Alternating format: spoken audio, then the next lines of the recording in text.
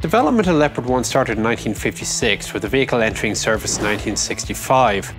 This proved to be a bit of a change in German tank design philosophy when compared to the previous entries, such as Panther King Tiger. Uh, they had a heavy emphasis on armor protection as well as the gun. Well, when they came up with Leopard, they decided that there wasn't really much point in trying to create enough armor to defend against whatever was coming at it. The theory was that no matter what was uh, being fired, it would go through. As a result, the requirements for armor protection were very light. What was more important was mobility, and the gun would be nice.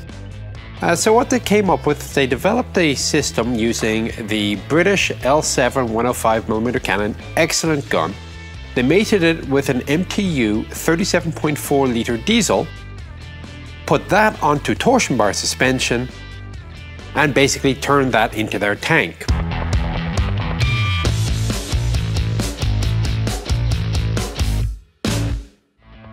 Initial version of Leopard 1 started off with a simple cast turret on the welded hull.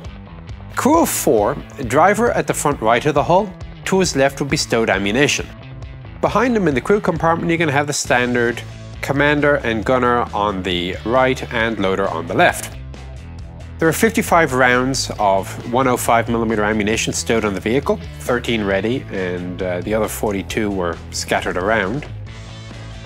The fire control system was relatively simple. It did have a coincidence rangefinder, those are the two little blisters on each side of the turret, and the sight was semi-stabilized. You couldn't really shoot on the move, but it was good enough, kind of like a gyro stabilizer almost in the, uh, the American tanks in World War II, to keep the target in the sight so that on a short halt you had a very, very fast engagement time. Driver's compartment controls are fairly simple. To his front he has basically a steering wheel, two pedals, for the brake and the accelerator, and there is a semi-automatic gearbox, uh, the handle for which is located on the front right. Also behind him on the floor is located the escape hatch. Uh, if the turret is turned the correct way around, all four crew members can escape through the belly of the vehicle. The suspension is torsion bar, common to many tanks of the era. The engine in the back is a complete power pack system, with the drive sprocket also being at the rear. Leopard 1's signifying feature are the large radiator grills on the flanks. On the front of the vehicle you see a whole lot of little X tiles. Now this is, uh, this is a clever little thing, it's snow grousers. For something with rubber tracks like let's say the M60, what you'd have to do is turn a center guide inside out and you would use that as a sort of a snow tread. It worked fine in snow, but as soon as you went on something solid, you were basically destroying the road and your center guides. What you could do with this Leopard track though, and you'll also see it in some other German vehicles, is you could remove the individual track pads, maybe one every 10th link, and replace it with this X tile. This gave you snow traction that didn't destroy the roads or anything else. Very clever idea. We only implemented this idea on Abrams when we finally introduced our own separate pad tracks. The cleats do exist. I've personally never seen one, but they aren't manual. Left hand side of the turret, you're going to see a little pistol port. Uh, this is also used primarily, really, for easy loading of ammunition. Uh, so you don't have to load the round all the way up through the back deck into the turret roof, down through the hatch. You can simply pass it through the side, and the loader can easily access and stow it.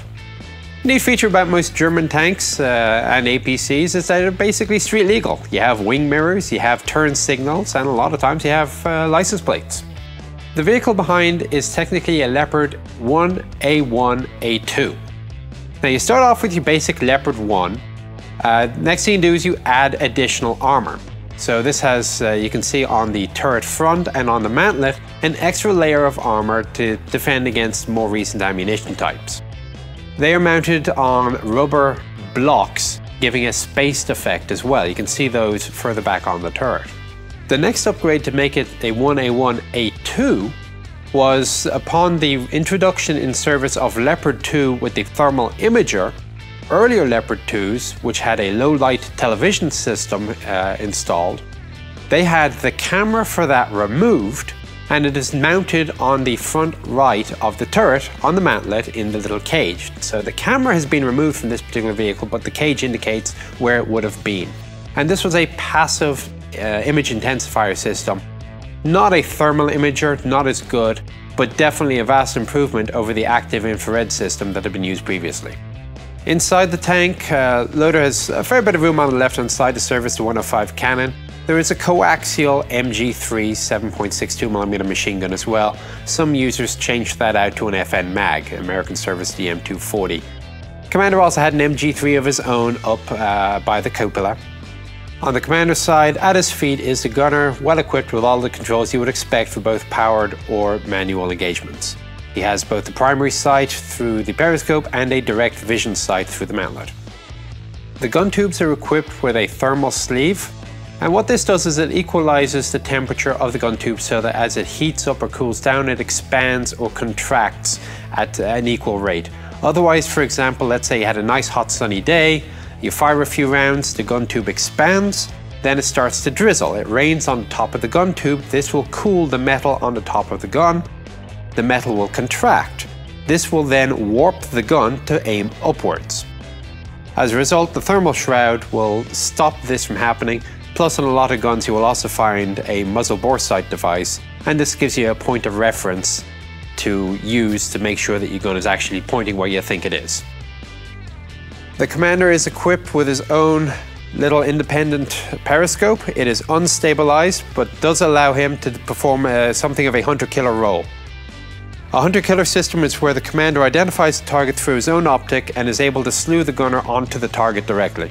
In addition to his periscope, he is equipped with a number of uh, individual periscopes around his own cupola. And of course, he has his own commander's control handle. In a nice nod to creature comfort, the side skirts, which are actually more of a flexible rubber than they are metal, uh, they're really more designed to keep the dust down than they are to provide ballistic protection. But the side skirts have little footholds cut in them, so it makes getting on and off this tank very simple. The track itself is the dual pin type, basically a Diehl system. Uh, it's been used by the Germans pretty much since uh, the Leopard 1 came about and it's still that basic design is in service today.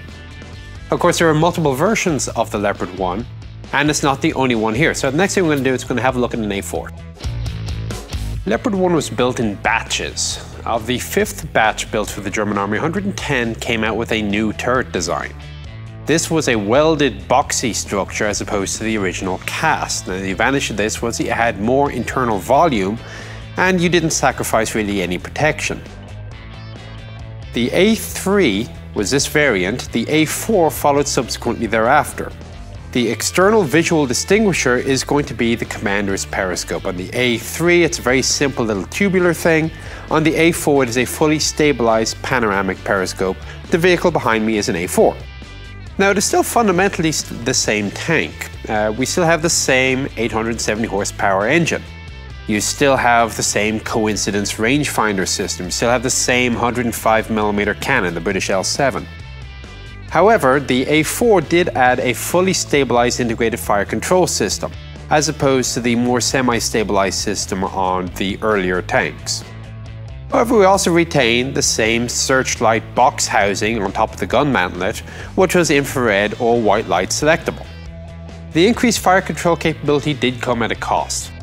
The computers took up a lot more room inside the tank than was earlier the case, so even though we now have the increased volume of the welded turret, the interior space available to the crew is actually fairly similar, if not slightly worse, than that on the cast turret vehicles.